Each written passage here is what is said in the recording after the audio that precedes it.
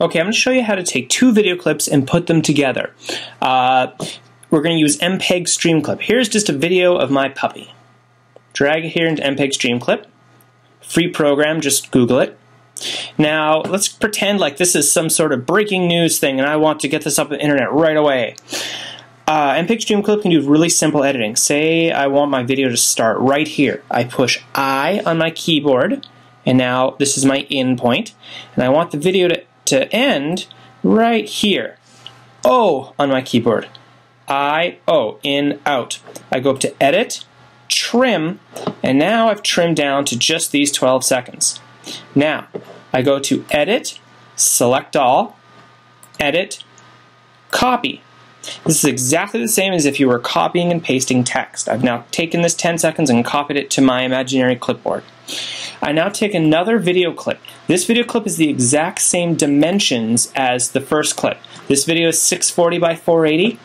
This video clip here is 640 by 480. I take it, I drag it in. Playhead here is at the beginning. I go to Edit, Paste, and now I've pasted these two video clips together.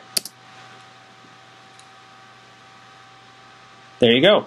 So now I've made a video with my name at the end, and there, my video is done exporting. I can now go File, Export to QuickTime, and put in the settings I want. Uh, this video was shot in 640 480, so I'm going to go H264.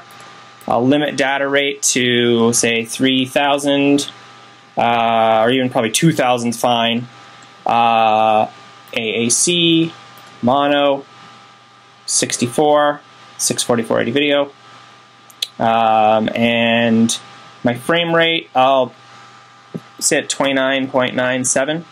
Um, inter turn off interlace scaling, and there, 100%. So 264, 100%, 2000, AAC, 64, 2997, da da. Hit make movie. Give it a different name, like, I don't know, puppy edit and save. And now it will put these two videos together and export them.